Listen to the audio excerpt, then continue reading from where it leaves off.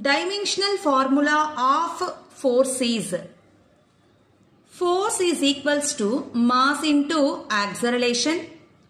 SI unit of mass is kg and acceleration meter per second square. Dimensional formula of force is m power 1, L power 1, T power minus 2.